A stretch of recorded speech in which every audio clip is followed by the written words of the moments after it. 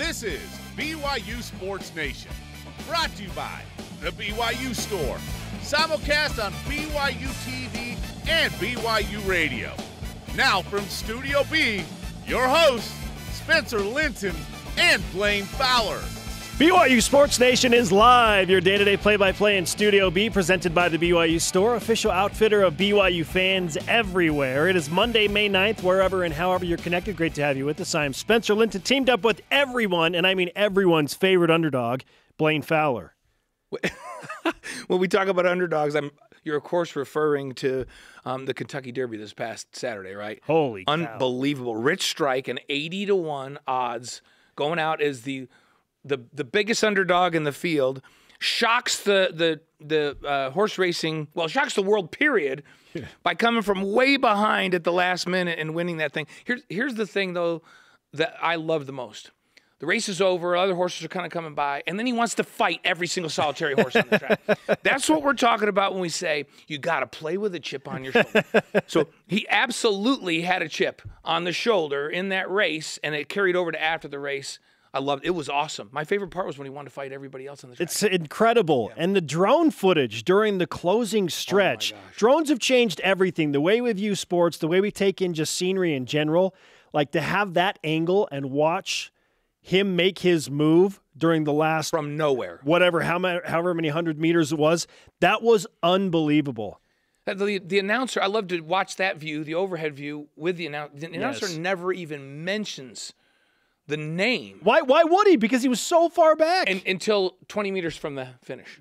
Unbelievable. It, yeah, the, obviously the biggest uh, underdog win in Kentucky Derby in horse racing history on the biggest venue and and the way that it happened, I just unbelievable. It was really it was really fun. I, have watched that thing over and over again. So fun. I can't, I can't believe where he made his way from in that field. Rich Strike, eighty to one odds. That got us thinking about some almost insurmountable odds that BYU teams have overcome, which leads us to today's show lineup. What's the greatest upset victory? I mean, BYU had no chance going in, then all of a sudden BYU fans are celebrating because it was an epic win. What's the greatest? What tops the list in that regard? We will discuss. Also, Greg Wrubell joins the show to discuss a little BYU baseball, who swept over the weekend, BYU basketball, adding some new key pieces, and BYU football. They, they just plan on being a top 20 team at this point? Is, is it all just a foregone conclusion? We'll discuss that as well with Greg. Not to mention what other pieces now BYU basketball has in the works or should be having in the works. Blaine, that leads us to today's BYU Sports Nation headlines. Well, let's start. Let's start with basketball. Rudy Williams commits to BYU over the weekend. The basketball guard, um, 6'2 guard out of Coastal Carolina. He finished uh, ninth in the Sun Belt in scoring this last season, averaging 14.7 points a game. Scored in double figures 24 times last year. And here's what I like shooting percentages 50.9% from the field. 44.7 from three. Wow. BYU lacked three point shooting last year on a consistent basis. 44.7 from three. So after playing at Northeastern Oklahoma and A&M as a JC player, and then getting his Division One start at Kansas State, he transferred to Coastal Carolina. He's got just one year left to play, so one year remaining, and uh, BYU hopes he'll have a big splash. I, I think they're hoping that Rudy can fill that huge need they have at point guard. Certainly. Yeah. Has BYU solved the point guard issue? We'll talk about that in just a moment. I mentioned the BYU baseball sweep. Not all sweeps are created equal because the Cougars go on the road in Malibu and beat a very good Pepperdine team in all three games. And not just that, they had to rally in most of these games. Ryan Brady BYU's ace held the Wave scoreless for five and a third, his longest outing of the season amidst that three-game sweep. BYU now has moved from eighth to fifth place in the West Coast Conference standings. They return home to play Dixie State at Miller Park tomorrow. And then they're pacing now, Blaine, for for sure part of the West Coast Conference postseason tournament. Yeah, we wouldn't have said that a week ago. Interesting note from Pepperdine. One of the games they got caught in traffic. There was a problem. They arrived just in time for the game. No batting practice, and they won. Yeah, maybe that's the formula. The the bat, the, the bus barely got to the field. It's like, hey, we ain't got time. We're gonna play let's this. this. Us just go play, and they won. That's how it goes. So, hey, let's move to softball. Softball sweep as well. Um, they dominated this past weekend, sweeping the Pacific Tigers 3 0 in that series on the road in Stockton. They outscored Pacific 24 0 and hit eight home runs through the, all three games.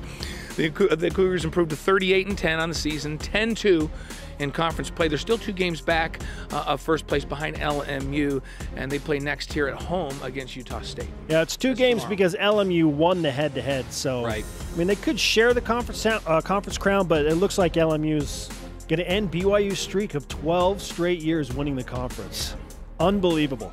Track and field. Let's start with the eighth-ranked BYU women and throw in some 13th-ranked men's team as well. The men and Kenneth Rooks won the 3,000 meter steeplechase, which is now the third best time in BYU history with a mark of eight minutes 31 or sorry eight minutes 31 seconds 19 hundredths the team returns to provo to host their second and final home meet this week at the byu last chance meet they call it the last chance meet because it's the last chance To qualify. to qualify for the ncaa championships Exactly right. So, and I'm sure we'll see some qualifiers there. Some some big names will show up. So, uh, let's move to women's golf. BYU women's golf currently competing at the NCAA Franklin Regional of the NCAA Championships in Tennessee.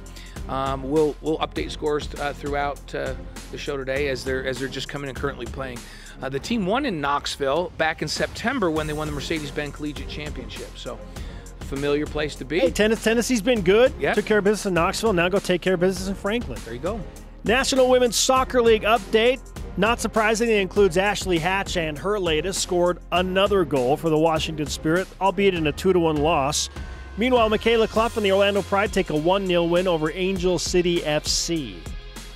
A little USFL news for you. Zach Daw and Corbin Kaufusi with the Tampa Bay Bandits. They lost to Birmingham Stout, the Birmingham Stallions over the weekend. Uh, their team now moves to third in the South Division with a 2 and 2 record. BYU men's lacrosse starts round one of the MCLA National Championships today. Game against TCU. They're looking to defend their 2021 national title. Listen, BYU lacrosse, whether it's lacrosse and rugby on the club scene, BYU is always in the mix to win national championships. The women's lacrosse team also competed over the weekend, finishing with a 1 1 record, a win over ASU, and a loss to UCLA. You know, just another run through the Pac-12, There you right? Let's hope for a two and a, a two and zero record against the Pac-12, but whatever. All rise and shout! It's time for what's trending. You're talking about it, and so are we. It's what's trending on BYU Sports Nation. Rudy, Rudy, Rudy. Rudy Williams has joined BYU basketball, and now the Cougars seemingly have their point guard. We know that BYU has a number of holes to fill on that roster, but man, to not have to rely on a return missionary in Dallin Hall to come in and start at point guard, then I'm sure the coach has got to be feeling pretty good. However, Blaine has with one just one player, BYU ultimately solved their point guard issue. they've made progress towards solving their point guard issue uh, because Rudy Williams is a very, very solid addition to this roster. An experienced player, um, a guy that's been a leader at Coastal Carolina, a consistent player.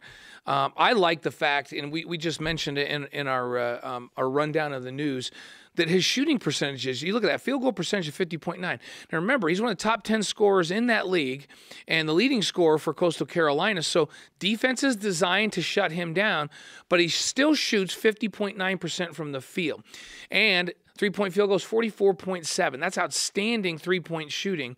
Uh, he's also a solid rebounder from the guard line. He's a three level scorer. So he's a guy that can step back and knock down threes. He can attack you off the dribble and finish at the rim. He has a nice mid range game. And he's also a triple threat in that, that he can shoot and score, he can distribute the basketball, and he can go rebound the basketball from the guard line for you. So I, I think it's a really, really nice addition.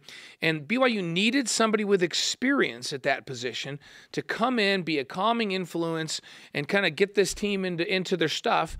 And, and I think it allows Dallin Hall, because I think that's the rest of the answer, right?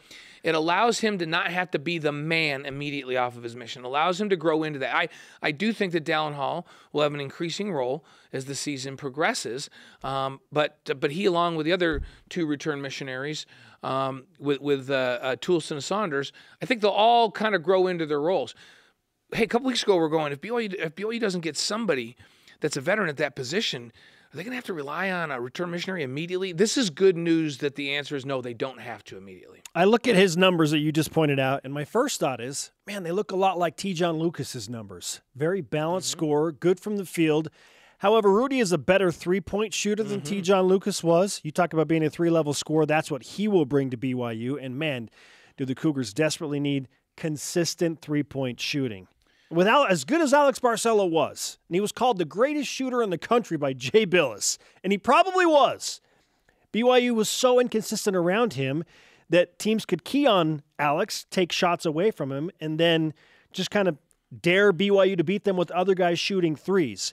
Now, Rudy Williams, we're hoping, joins a much more consistent Trevin Knell and Spencer Johnson, if not another scoring guard that is yet to come through the transfer portal, so that that shooting will be a little bit more consistent, and you have to defend more than just one guy.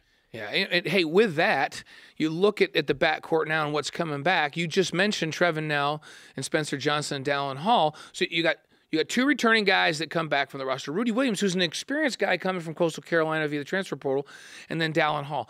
P- pretty solid group. To your point, those two guys in the middle, Trevin Knell and Spencer Johnson, um, I'd like to see the three point percentage for both of those guys be in the 40s and and shoot it with a little bit more consistency. They're both very capable. Um, I, I, think Trevin Knell is capable of being a 45% plus guy from that three point line. If that if that's the case, if those two can can raise their game and be more consistently knocking down shots from three, Rudy Williams lives up to his billing and shoots the way he did um, at Coastal Carolina. Then that allows the the last guy on the end, down Hall, to to grow into his game. And and Hall's a guy like just like we mentioned with Rudy Williams that he can take you off the off the dribble and finish at the rim. He can dunk it on you. Um, he's got a nice mid range game. I like his ability to attack off the dribble and do that, but also a very very fine shooter. And so you got to give him some time to get his legs back, to progress in the system, to get used to bigger defenders and longer guys inside and all that. There's a big adjustment coming out of high school. Um, and when you think about a return missionary, there's a getting your body back and making the adjustment from high school to college. So this gives him time. I think I think Hall's going to be a phenomenal player. Sure, he's a he's a Big Twelve guard, but he needs some time, and Rudy Williams gives him that time. So. Okay, yeah, and, and again, Rudy Williams is not a Big Twelve guard. He will play one year, right. his final year at BYU, and then be gone. And then again, BYU is hoping that Dallin Hall steps in and the question then is is there somebody else down the pipeline that's handling right. the ball? And, and, that's my question for you. Let, us stick with basketball in this discussion. So, so if that's the point guard, if Rudy Williams is the point guard and the guard line is what we talked about, what's next for BYU? Are there other pressing needs that have to be filled on this team for them to compete at a high level next season? Yeah, for me, immediately, I just look at the front court. And if, if we want to pinpoint like an issue that BYU had last year, Clearly, it was the fact that they lost both of their starting bigs seven games into the season, right? And I know BYU went and beat Oregon and it beat San Diego State, and they did so without real size. But then teams in conference are like, okay, well, we're going to figure out how to guard these guys because they don't have any size. And that's exactly what happened. It became really, really difficult to win without any size. So for me, the, the clear answer is BYU needs some guys to join Fousseyni Traore and Atiki Ally Atiki in the post. And they need experienced guys like plug and play right now. Because I think it's too much to ask Atiki to play starter minutes right now. I just think he's super athletic and super long and a defensive presence, but he's still just raw. He, they've, they've got to work out some things with Atiki, and who knows what they can do in the offseason. Uh, I imagine he'll make great progress, but I still feel like BYU needs a junior or a senior big guy to step in and play right now. So that's where I imagine the attention goes now is okay, find some size and then go back and look for somebody else on the point guard or on the on the wing guard line, uh, something like that. Yeah, I'm, I'm right with you. And here's what I think. More specifically, a big guy to add depth with, with these guys, but maybe a stretch big. So, so if they can go find a 6'9, 6'10, 6'11 guy that can play the five, but can take people away from the basket and maybe defend away from the basket a little bit, because because where BYU can get in trouble is uh, Atiki and Foose. If if you play these teams like San Francisco, where the, the bigs one, you know, frankly one through five all rotate out to the perimeter and can shoot threes and cause you problems out there. Um, if they can find a big that's that type of big that that can be kind of a stretch stretch big that can get out on the perimeter and defend that can force teams to defend the perimeter with their five or with their four that would be ideal. Now I don't know if that guy's out there. That would be the perfect addition to me. But regardless, you've got to have regardless if you can get that guy or not, you got to get some depth. Even if it's just another big to plug in there, you've got to have depth on that front line to, defend inside and and to uh, spell these guys. I think Atiki's going to take a giant jump this year. And Foose was already terrific. I think he still is going to take a big jump. The, the ceiling for those two bigs that were freshmen this last year is really high in my mind because of their skill set. So uh, the other, but here's the question I have for you. I mean, you and I always we talk all the time. Have you heard anything about an assistant coach? No. because we're, we're talking about No. players. Because I, th- I think they need a big. I think they could use a six six or six seven wing that could play the three and the four. But what about an assistant coach? Oh yeah, there's that need too. Okay, I mean obviously we're focusing on the roster, but goodness, yeah, it's it's been very very quiet on that front. It's probably because it has been such a glaring need with the four open scholarships for rostered players that that the coaching position has just kind of like fallen into the shadow. But that's huge for Mark Pope replacing Chris Burgess because Chris Burgess was the guy that worked and developed those big men so nicely over the past five years. Uh, so I mean, yeah, that's interesting you bring that up. What does the coaching position look like right now? We don't we don't know. We haven't heard anything because they're trying to fill now three scholarships remaining after Rudy Williams takes one of those. and we know that we know Mark Pope told us a few weeks ago that um, that he's got some ideas and he's got some guys that he's talking to to fill that role. And and at BYU, it's hiring any staff position, so a coaching position especially, very visible. It's it's a process that takes some time. So I'm certain there's some things going on behind the scenes. We know that Mark Pope, that guy, is is having conversations and has some ideas about who he can fill that role with. But it's just funny that we haven't even thought about that. It just hit me today. I'm thinking, yep, they got to get it. They hopefully get a big wing and another big to to co- complement Rudy Williams. Hope hope these freshmen come back and play phenomenal. And I thought, wait a minute, they still have a coaching Yeah. vacancy that they have to fill, and that's a big deal. So much attention has been paid to the four open scholarships, rightfully so. That yeah, that assistant coach job has just kind of faded to the back. Yeah, and Chris Burgess was a phenomenal recruiter. And so they got to get somebody that can not only help with the big men uh, like he did, but they need somebody that's plugged in and can recruit. And maybe Mark finds somebody from a different part of the country that can recruit a different part of the country. That would be fun. We're just getting started, and BYU had guys entering the roster as late as late July, early August. Right. So I mean, this thing's going to go all summer long as BYU looks to fill their roster. We have a quick update from the golf course in Franklin, Tennessee. BYU women's golf in the NCAA regional in seventh place early, three over as a team. Leela Naliai leading the Cougars. She is one under through seven holes and tied for fifth individually. The top four teams advance out of each regional. There are 12 schools there. Top four advance on to the next round. BYU currently in seventh. It's very early, but we told you we'd update you. right. Well, there's your update. Leela Naliai doing really, really well. Uh, two strokes off of the lead, I believe BYU, uh, BYU's Leela Naliai. So there you go. Off. Oh, sorry, off of fourth place. There you go. There you go. Our question of the day, and we're going to call an audible here. We've been talking a lot about basketball, roster needs, and whatnot, but we're going to go back to the introduction to today's show. And in line with Rich Strike's unbelievable run down the home stretch to win the Kentucky Derby, and 80 to 1 odds, I mean, just blowing everyone's mind in that way, win that tournament or win that race, got us thinking, okay, well, what's the greatest upset win in BYU history? And we want you to tell us in voice of the nation. This is the voice of the nation on BYU Sports Nation. Ooh, I like this first one.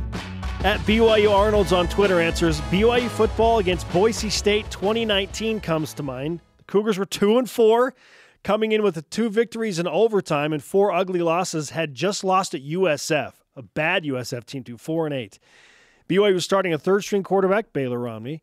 14th ranked Boise State was 6 0. They're coming off a 10 win 2017 and eyeing a New Year's 6. BYU wins that game. That unexpected victory turned the corner for the Kalani era. Man, I like that one. BYU's been a different football team since that victory. If we're talking turning point, that's a man. That's a who is that at BYU Arnold's? Yeah, that's I a believe great BYU take. was a two touchdown underdog at home going into that game. That's a great. That's a great take. So, uh, and then uh, Terminator is that at At- at at the the, underscore underscore Terminator. Terminator. Yep. Wisconsin 2018 spread was minus 22. He says I believe the spread was minus 22 in favor of Wisconsin. While BYU only passed for 120 yards, with one fourth of them coming from Aleva Hifo, that win was by far the most unexpected win on the road in Madison. That was something. See, I'd forgotten about that one too. That was pretty unbelievable. Yeah, I mean, one and one BYU just lost to I believe it was Cal at home. But yeah, just a just a brilliant game plan by Jeff to, Grimes. I don't get to uh, brag about the, the kids very often, but that's that's the game where uh, a snap on the ground for the game-winning field goal, and one Gavin Fowler picks up He off the ground, saved gets the it down, and they make the field He goal and they win the the game. Yes. So there you go. He saved the Gavin Fowler. Seriously, saved the game. When, when can a holder ever save a game? That's the one time I can ever remember a holder save the game. And Kalani said it in the post game. So. Hey, those are two off the radar ones. We, yeah, we've we'll got talk our about some other coming ones. up. Yeah, we'll talk about some others. Those are great. Hashtag BYUSN if you want to join the conversation on social media. Yeah, coming up, Kyle Van Noy tackles cornhole. Uh, what? What? Why not? He's going to San Diego, play a little cornhole. It's all good. And Greg Wrubell, the voice of the Cougars, joins us to discuss a sweep of baseball, basketball editions, and is BYU for sure going to be a top 25 AP team when it comes to football season? This is BYU Sports Nation. BYU Sports Nation is presented by The BYU Store, official outfitter of BYU fans everywhere.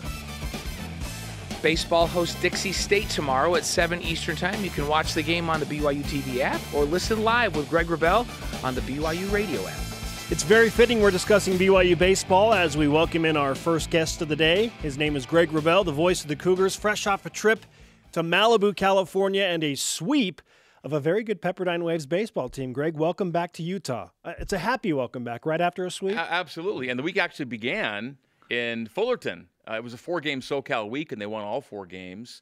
Of course, you throw on the game they won last weekend at San Francisco. Five game win streak now uh, for the BYU Cougars. Uh, Just like that, in fifth place now in the West Coast Conference standings, top six shape. make the postseason. Yeah, how does the rest of the season now shape up for the Batcats as they look to position themselves for the West Coast Conference tournament? Shapes up well. You'll have a couple in-state games, the midweeks against Dixie tomorrow and then Utah next week. But then it's home series against Pacific, which is the cellar dweller, the WCC. Then a good LMU team. Uh, but uh, BYU's positioning well for the conference tournament now. Uh, I, I think a top four finish is is probable, and a top three finish is possible. Uh, top three might be a bit, a bit too much to ask. We'll see how Portland finishes. That's the team currently uh, in third. But with LMU right ahead of BYU and the Cougs playing LMU to finish the season, it's kind of in their own hands as to where they kind of finish, uh, whether you know they get as high as as, as four or three. But I, th- I think four looks good. Five's comfy for now, but there's still room to move. You know, we look back not that long ago, a week ago, and they were in eighth and looking on the outside of the tournament because you have to be in the top six to be in the tournament. What's the difference in this last week to where they were the week before? Well, the funny thing is, they're actually playing really good baseball, even though they weren't winning series. They would lose a series 2 1, but be a squirrely play or two away from winning the series or maybe even taking a sweep. It's been that kind of year. There have been a handful of games, you know, kind of that just got away from BYU. Um, those games go BYU's way, a play here or there, and they're looking at an at large candidacy right now. That's not the situation at this moment, but they're showing now the kind of team that they've kind of been for a while, even though the results weren't always there. But now they've got five in a row, and now they had a sweep uh, on the road. And not only that, the teams in front of BYU both got swept, and so it really was a big, big weekend. When BYU makes it to Stockton this past weekend that just got played, we'll have a big reason to do with it. Fantastic stuff on the baseball team. Greg Wrubell is with us on BYU Sports Nation. Huge weekend in Cougar news as we transition now to basketball. Rudy Williams announces that he is leaving Coastal Carolina and he will be the point guard, we assume, for Mark Pope and BYU basketball. How does that impact now what this roster is going to look like with a point guard in place? Well, some stability and some reps and experience, you know, a- a- you know, as a ball handler, which I think is pretty key right now, more than anything else. It's not a Big 12 piece of the puzzle. He's got one season left, right? Uh, so it'll be a transition piece for BYU, but it's really something Cougars, uh, the, the Cougars lacked, were reps at that position. They'll have them now, and it's a guy that you know, once upon a time as a as, as a lower level player, led the nation in assists and and he's got a handful of triple doubles uh, in his past portfolios as well. So clearly, he's shown that ability, and uh, you know can be anyone who leads the nation in assists in a collegiate level um, can be somebody who can really help you there at point. And that was a glaring need for BYU. Everybody's looking, going, man, who's going to play point guard? Alex Barcelo's manned that for so long. So, so let's say that, that he is the solution to that, and maybe Dallin Hall come back from Michigan help there. But what's next for Mark Pope here in this offseason? What does he got to do now? Well, Antoine Davis makes his decision at one o'clock today, and BYU's right in the mix. You know, for Antoine, that's that, that that's the next you know puzzle to either fit in or stay out. You got to try and replace. So let's see what Antoine Davis decides to do this afternoon, and then maybe you know, I I, I, I think there's probably some front court. Um, you know depth that that's needed right now w- with the team, and uh, you know there there are players that we don't know about, the coaches do know about that they're probably in with, um, and all these pieces have to fall into place here in the weeks to come. How much do you anticipate the three returning missionaries will factor into this year on the court with Dallin Hall and Richie Saunders and Toolson? Like, how much do you Yeah, expect them I- to play? I wish I could say that I know, but it's just such a crapshoot with return missionaries as to who's really ready and what ready looks like, and and and who can look the best, the quickest. But uh, I, I know that there are three players that the coaches were excited about, and I'm excited to watch them, you know, get into the mix. But how much can you really depend on? Uh, you know, someone in that situation, it remain, remains to be seen. Um, you know, not everyone's TJ Haws. Uh, when he, you know, comes back and you're like, okay, let's get him right in, and there he goes. He's a starter from day one. Uh, but those are the, those are special players.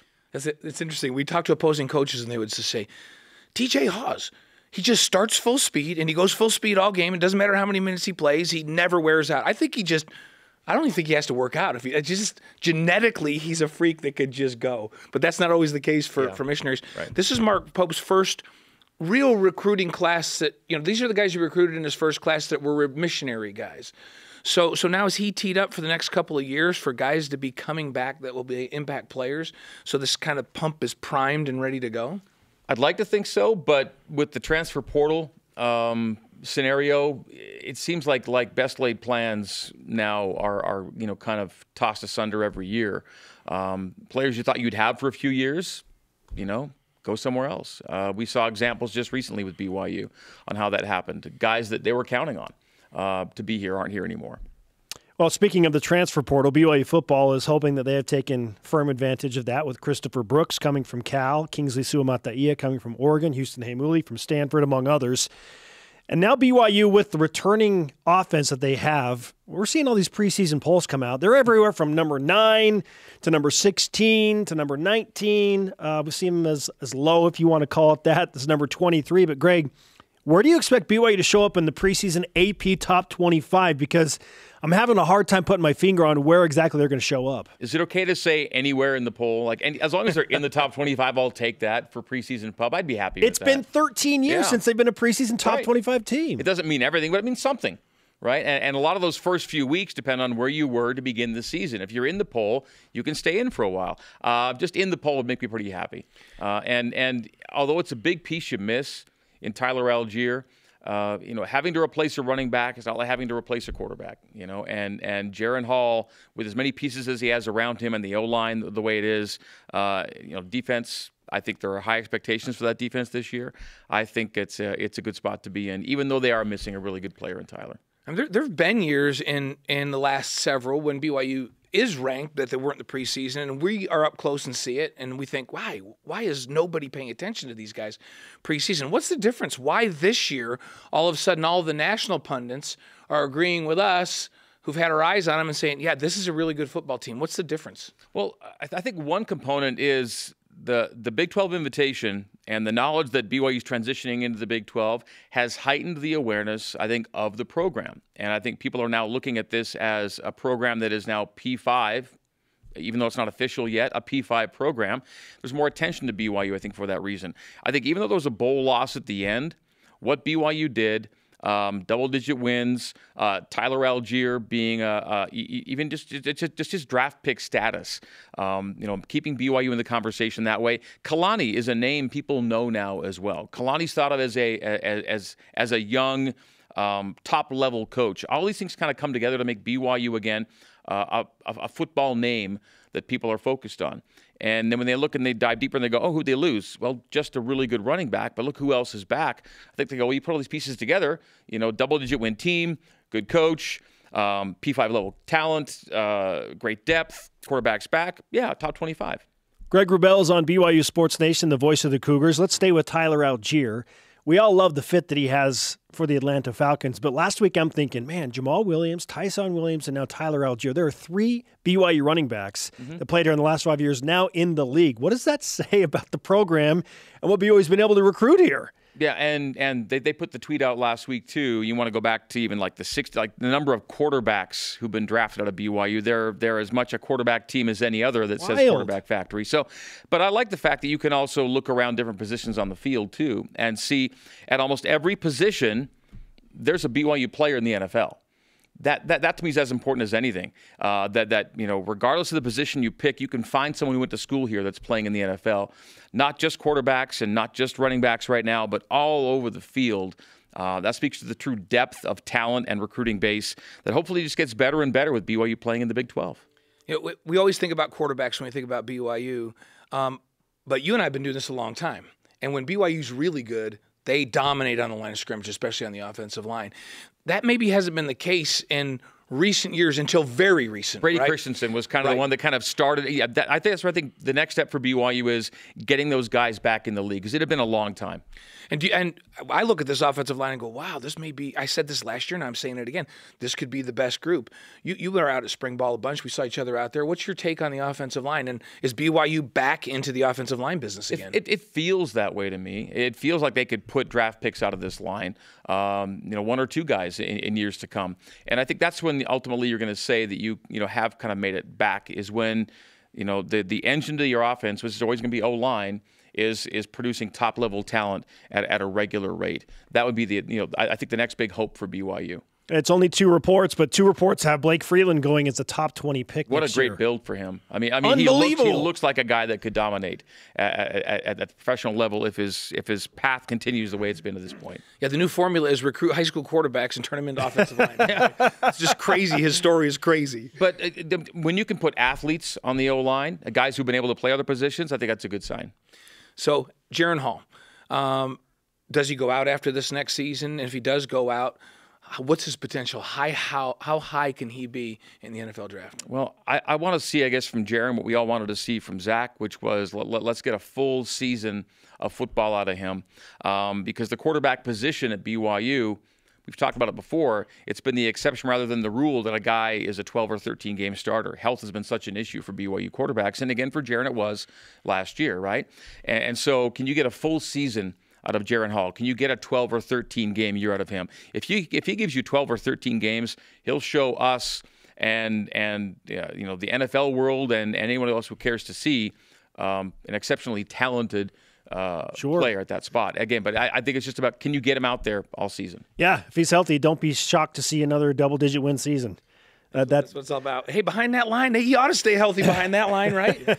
But he's the kind of guy too that's not going to just want to stay camped behind that line, right? It- His his the beauty of his game is how much he can do for you downfield. With that line, I'm going to line up a fullback. We're going to put Greg, we're gonna put Greg at tailback, No. and he's going to rush for a thousand yards. So we're in good shape. Well, and, and back to the point about missing Tyler Allgeier, yeah, it's a huge loss. But uh, whether it's this level or the next level, if, if there's good blocking in front of you and good options to take attention away, maybe the position you can maybe um, you know deal with attrition with good bodies coming in is running back, and hopefully we see that this year. Greg, great to have you with us. Thanks for the breakdown. Baseball, basketball, and some football. Always good. Thanks, Awesome. guys. Thanks, Greg. Hey, coming up, what is the BYU win that nobody saw coming? And has BYU found a new recruiting closer? What's the secret sauce to get guys to choose BYU? This is BYU Sports Nation. BYU Sports Nation is brought to you by Maersk, enabling global trade for a growing world. Softball hosts Utah State tomorrow at 8 Eastern Time. Watch the game live on the BYU TV app. Welcome back to BYU Sports Nation. He is Blaine. I am Spencer. To interact with the show and get content throughout the day, you know what to do. Follow us on the social media platforms Facebook, Twitter, Instagram, YouTube, and TikTok. Let's whip it. Cougar Whip Round presented by Maersk, your integrated container logistics company enabling global trade for a growing world. Former Baylor quarterback Gerry Bohannon announced that he will be transferring to University of South Florida, Wait, what? which means the Cougars will face Bohannon again in how many days?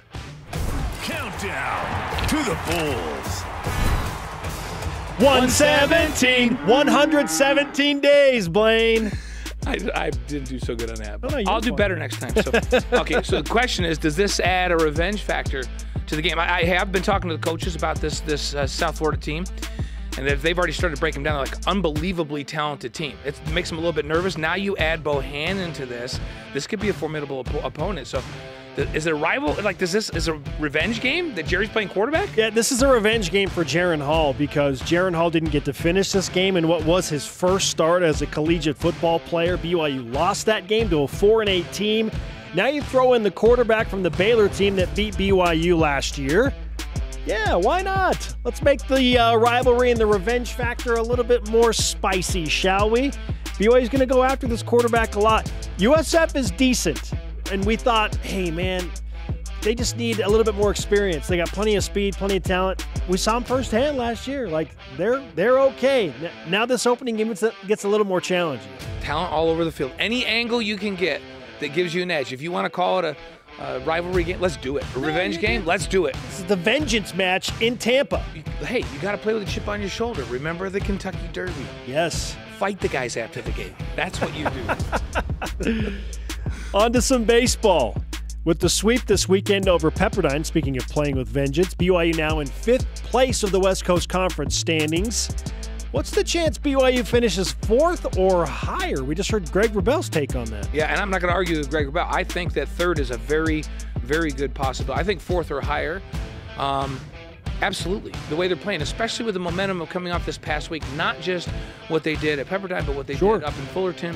Um, I'm going to say yes. They will finish fourth or higher. Okay. they'll be in that in that postseason tournament. Now, it they kind of control their own destiny here because they've got LMU in Provo to close right. out West Coast Conference play. So, uh, LMU is the team that's one game in front of BYU. If BYU wins that series, then they win the tiebreaker head-to-head because they won the head-to-head series, and then they get into fourth. Yeah, I like BYU to finish fourth. I think they're playing really good baseball right now. And there's outside chance at third, but I think fourth is a sure pr- pretty solid prediction. All right. Rudy Williams, the recruit that we have been talking about, coming out of Coastal Carolina, requested that he got when he took his official visit that he could take photos with Cosmo. Is Cosmo the new closer for BYU recruiting? What's going on? He's here? certainly a part of it, Blaine. Like, there's a reason that Rudy is saying, "Hey, can I take pictures with your mascot?" Because he knows. He's seen the viral dances with the Cougarettes and all the crazy stunts, and the fact that Cosmo won the mascot poll during the COVID shutdown, which was like the most exciting thing to happen because we couldn't watch actual games, but we had to rate mascots. Cosmo won that bracket, controversy or not. Rudy was paying attention. Yeah, he's definitely one of the closers. I don't know if he's the closer because I'd like to throw us in there too, Blaine. He's internationally known. He absolutely is internationally known. The, the dance that his dance moves with the Cougarettes, who by the way are the most successful team in the history of BYU of any kind, right? Yep. They just dominate, and he dominates with them.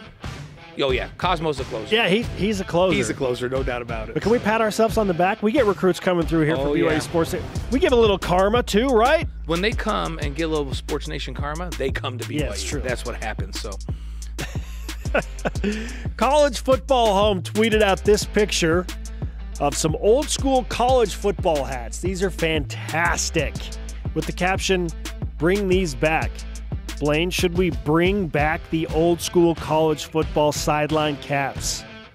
I feel like old school is in, and we should bring them back. I might have a BYU cap that looks just like that one at my house right now. If you seriously if, if tried to sell one, that, you would make yeah, good money. I know, but old things are becoming new again. Uh, my kids go in my closet and go, "Hey, where did you get this?" And I go, "Oh, I haven't worn that in 25 years. That thing is cool, Dad. That's in right now." so all things old are coming back. Everything that's got like, especially the one that has like the what is that? It's like a little string across the brim. Yeah. It's almost like a what do you call that? I don't know. It, that, it's like that, a cord a cord string yeah, that goes across the yeah, base of the, the brim. the, the cord hat. hat that goes across the brim. Yeah. What? Those are so popular right now. Old school is in. I say bring them back. Anything old is good in my mind because I'm old. All right. So Blaine, let's finish with some cornhole. Right. Hey, Kyle, Kyle Van Noy competed in the American Cornhole League Super Hole 3 tournament Saturday in Salt Lake City. What's Kyle doing? So Van Noy and his partner, ACL pro Sarah Cassidy, they lost in the oh. finals. So not only did he compete made the finals, which former or current BYU player would you want as your cornhole partner? This was so easy for me. Immediately, one name came to mind: Chase Fisher, Ripley, West Virginia. Straight. I mean, Chase Fisher would be the ultimate former BYU athlete cornhole partner because he's hilarious. I'm sure he has mad skills. He's a great shooter, so why would he not be a good cornhole shooter? And West Virginia, come on. They, isn't there a specific cor- professional cornhole league in West Virginia? I'm pretty sure they have one. I was going to take Danny Ainge. okay. Just Because- competitive no, advantage. because he's so stinking So competitive. competitive. Like he won't Yeah. lose at anything, and he will cheat to win if he has to. He will run over your ball with a golf cart. He will. if he will do anything to win. and I'm just like, I, I, don't know cornhole that well, but if I want to go into that, I'm going with a competitor that will figure out every angle. I'm going with Danny Ainge. Danny Ainge. Yep. That's, that's, that's a great pick. Yeah. so, I just went I just went with the West Virginia kid. I love it. I love it. So hey, coming up, rising shout out to to goals and sweeps. I like that. And let's take a look, a closer look for that matter, at BYU wins nobody saw coming. This is BYU Sports Nation. BYU Sports Nation is presented by The BYU Store, official outfitter of BYU fans everywhere. Saturday, May 21st, BYU Sports Nation will be broadcasting live from the BYU Fan Fest at Sandtown Park in St. George. Come watch a live broadcast of the show at 12 Eastern, 10 Mountain or watch the show on BYU TV and the app. Blaine, do you think we can fit in nine holes of golf before we do that show live in St. George? I should be coming down with you guys. For, right? I think I'm in New York that weekend, but that's, you know, my my daughter Nicole and her husband Blair live down there. And okay. They pretty much own Santa Clara. Standing invitation, Blaine. So they run Santa Clara. that's what our family does down there. So maybe I'll come down. Maybe I'll come straight from New York and join you guys down there for that. There's a direct flight now. okay. From New York to St. St. George. George. Yep, since they got Okay, fine. Fixed. It's a connection. I'm there. Welcome back to BYU Sports Nation live from Studio B. On Saturday at the Kentucky Derby, we all witnessed an unbelievable run down the stretch from Rich Strike. 80 to 1 odds as a horse to win, worst in the field. Final turn, Rich Strike was in 17th position, Blaine. At the final turn, 17th position outpaced all the horses, came away as the long shot winner of the Derby. Again, that got us thinking what's the greatest, maybe most unexpected long shot win in BYU sports history? A win that nobody saw coming. And we have a couple of the, that we agreed on. Then I went kind of off the radar for one that I, I will absolutely yeah, never forget, but most people probably don't know about. There, there were two that you and I immediately just came came to our mind. So the first one, I always think football first, right? So so I thought of the BYU Miami when Miami came in here uh, in 1990, number one in the country, defending national champs. Hey, let's not forget they also won the national championship in '87. So this was a, this was a Miami team on a roll. Um, now BYU is 16 um, come, coming in. Ranked number 16. So, so they, it was, but they were 13 and a half point underdog in that game. And all the talk leading up to it, national, even local, was like, well, man, if BYU can even just stay close in this game, then, then that'll give them a lot of respect. Remember, this is a Miami team that ended up the season number three in the country. So they were as good as build, right? Yes. It wasn't like, oh, they flopped. No, they... You know, this was a very good football team, as electric as I've ever seen LaVell Edwards Stadium. Detmer goes 38 of 55 for 406 yards, and that was the Heisman campaign all in one game. BYU has a 28 21. That's why he won the Heisman Trophy. That win. That, like, that launched it like he does if BYU doesn't beat Miami, he does not win the Heisman Trophy. And and so I they they, they kind of came out because nobody expected them to win in that one. Uh, I think that the, the, couple, the other couple more that we have, maybe even more of a real unexpected. That I think that's one of the biggest wins in BYU history. It was unexpected, and it launched Ty into his uh, into his, his Heisman. So I, I picked that one, but I'm not sure that's the best. Okay, how about 2017? BYU basketball goes into Spokane. They've won two in a row, by the way, at the, the kennel at McCarthey uh, Arena, and th- everyone's thinking there's no way BYU is going to win a third in a row, especially not against the number one team in the country on senior night. Gonzaga, I mean, they played in the national championship game that year. But Eric Mika and the boys beat number one ranked Gonzaga. They ruined their perfect season. They ruined senior night and just absolutely stun everyone. They were down 18 to 2 in that game. BYU was down 16 points like four minutes into the game. Yeah, and when we talk about unexpected, later was leaked out that the Gonzaga local paper had already had a front page yes. article on their undefeated regular season and number one overall seed in the NCAA tournament. And BYU, they had to throw that away. So that's how like no did we nobody expected that they would go in and, and win that thing. And remember, this was an NIT BYU team. So so an NIT team that lost in the first round. Yeah. so NIT. this this so this wasn't number 16 BYU beating number one Miami. This was an unranked BYU team beating the number one undefeated team in the last game of the season. Yeah, I I think that that one trumps trumps this one. But you came up with one, man, that that uh, BYU's upset win. I'm gonna let you. You Okay. came up with this, and I I looked back on that one. I'm like, yes, I remember this. So Shout out to my guy, Coach Steve Cleveland. Uh, hope he's watching and it sees this at some point because he absolutely deserves this notoriety. His first season, 1997 1998 BYU basketball, taking over after BYU went 1 and 25 the previous season. Right. Took over a 1 and 25 program.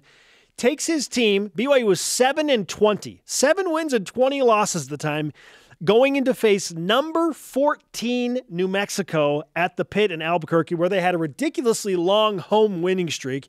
BYU rocks the black jerseys with the royal blue trim, I believe, for the first time ever, and they shoot lights out. Blaine, they don't just beat New Mexico, they beat New Mexico by 21 points. Again, this, this BYU team was 7 and 20. I think they were a 20 point underdog going into this game.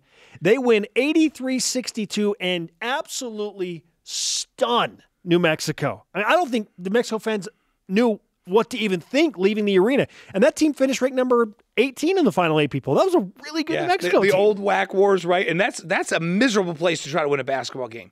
The Lobos in the pit were ridiculous.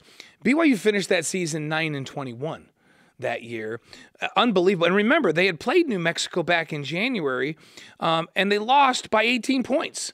So nobody expected them to win. And so of the three that you and I have talked about, maybe maybe that's the one where there was the least expectation.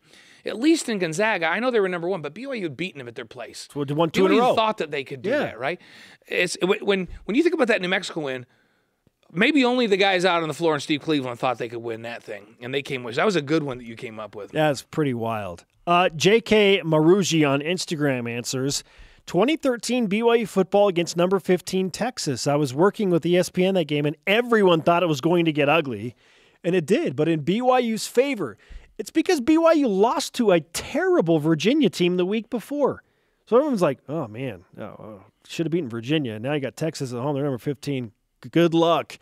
And Taysom Hill ran all over Texas that night. Yeah, it's and this was the beginning of uh, Taysom Hill just shredding Texas for a Yep. couple of years. They, my, I have friends that are Texas Longhorn fans and have been lifetime, and they have nightmares of Taysom Hill still because of that that that one there and then the one down in Austin in front of a sold out crowd down there where he just leaped and burst all over people and made him look ridiculous.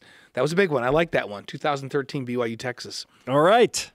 Well, coming up, our elite voice. Yeah, who earns that? Who earns the elite voice in this conversation that we're having right now about greatest upset, most unexpected upset?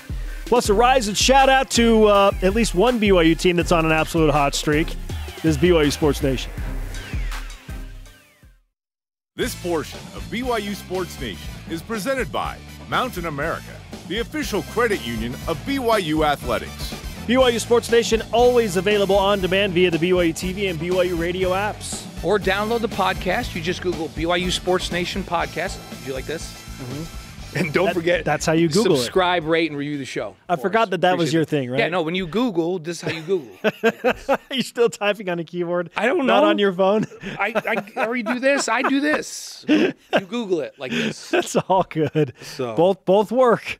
Our question of the day: What is the win in BYU sports history that nobody saw coming? As we look back at an unbelievable Kentucky Derby finish from Rich Strike at Lime underscore Crush on Twitter comes in with some heat. For BYU track and field and cross country, 2019 men's cross country national championship. Nobody, and I mean absolutely nobody, had BYU picked to win, and the Cougars just dominated. FloTrack had even produced a documentary already about Northern Arizona University that was supposed to end with them winning. Good- good night documentary. And his team getting it done. I love that one at Lime Crush on Twitter. That's a good. That's a good That's take well right done. there. That's Yeah. outstanding. That's right So, there with 2017 BYU basketball winning at Gonzaga. Only this is for a national championship, Blaine. Yeah, yeah. This ended in a natty. Yeah. Hey, in response, our elite voice of the day, um, presented by Sundance Mountain Resort. How about at Ames Flames? Yep. The best is yet to come, my friends. Oh, okay. It's going to be BYU's win over Notre Dame in Vegas. Whoa.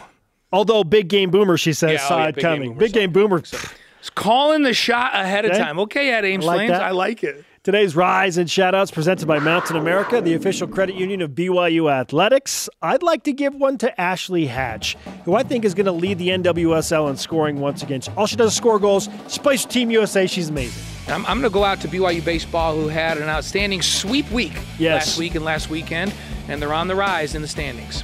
Our thanks to today's guest, Greg Wrubell. And we're sorry to Dennis Pitta again because we ran out of time. Conversation continues 24 7 on Twitter, Instagram, and Facebook. Use Facebook. Use the hashtag BYUSN. We're playing up Spencer. Go.